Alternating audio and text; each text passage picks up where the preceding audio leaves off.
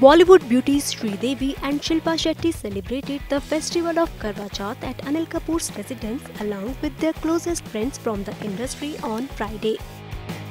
Here, they made dub smash videos that shows Shilpa Shetty dancing to the tune of Prem Ratan Dhan Payo title song along with Sridevi, Neelam Kothari and others. The video has been shared by actress Shilpa Shetty on her Instagram account. Watch the video and enjoy.